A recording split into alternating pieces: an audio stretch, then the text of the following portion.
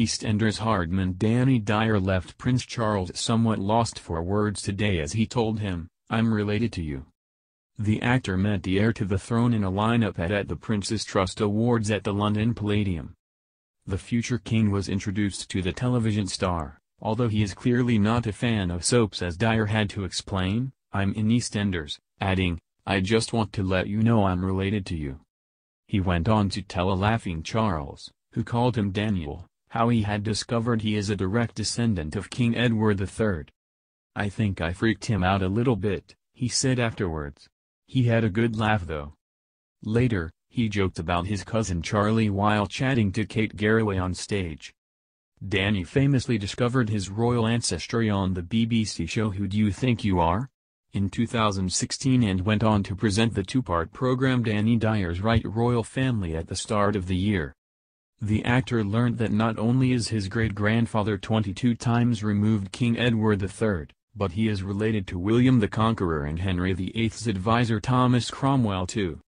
The meeting between the unlikely relatives came as Charles attended the annual Prince's Trust Awards at the London Palladium, to celebrate the success of young people helped by his Prince's Trust. Charles seemed intrigued by his chat with Strictly dancer and choreographer A.J. Pritchard, but joked that he was too old for lifts on the dance floor. AJ said, I told him what I'd do and he said it was not for him. He was saying that you have to be a lot fitter and stronger for the lifts than most people think. He said I am too old for that now. It was surreal, a moment I will never forget. Charles, whose wife Camilla is a huge fan of the TV dance competition, is known to have some impressive moves with the actress Emma Thompson once saying that dancing with him was better than sex. Before the show the prince met a stellar lineup of celebrity ambassadors of the Prince's Trust including Hollywood stars Luke Evans and Chiwetel Ejiofor, and musician Tinie Tempah.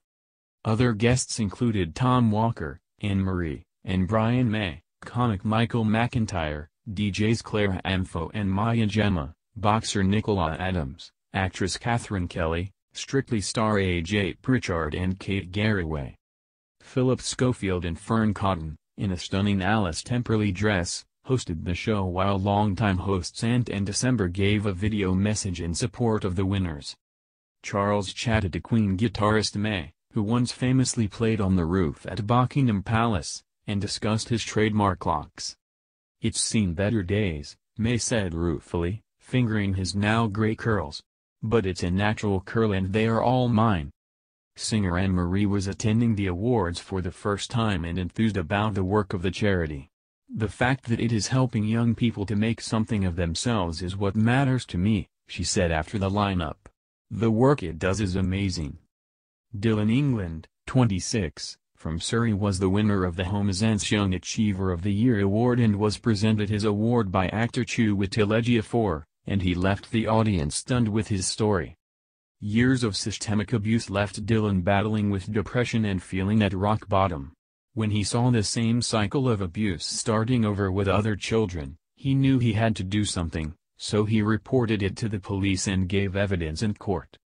The experience took its toll on Dylan and he attempted to take his own life a number of times.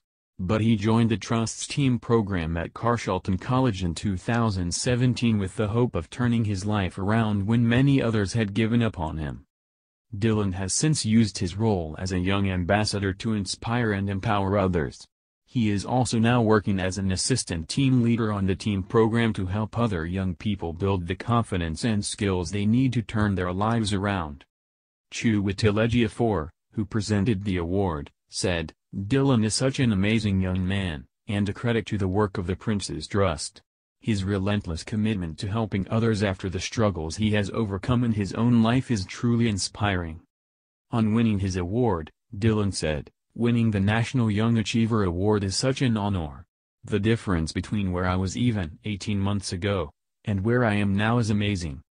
I've had so much support from those around me, the Prince's Trust and particularly my team mentors, so would like to say a huge thank you to everyone who has helped me along the way. Today's event comes just hours after Charles welcomed celebrities including George and Amal Clooney to Buckingham Palace last night. The future king was hosting a dinner for donors, supporters and ambassadors of the trust which he set up more than 40 years ago. It is likely Amal, who attended the Duchess of Sussex's lavish baby shower in New York last month, will have dropped in on her close friend at Kensington Palace during her stay in London. Sponsored by TK Maxx and Homesense, the Prince's Trust Awards recognize young people who have succeeded against the odds, improved their chances in life and had a positive impact on their local community. The charity was set up to help young people to develop the confidence and skills they need to realize their ambitions, so that they can live, learn and earn. Founded by the Prince of Wales in 1976, the charity supports 11 to 30-year-olds who are unemployed, struggling at school and at risk of exclusion. Many of the young people helped by the trust are in or leaving care, facing issues such as homelessness, mental health problems, or have been in trouble with the law. The programs offered by the charity give vulnerable young people the practical and financial support needed to stabilize their lives, helping develop self-esteem and skills for work. Three and four young people supported by the Prince's Trust move into work, education or training. The trust has helped over 950,000 young people to date and supports over 100 more each day.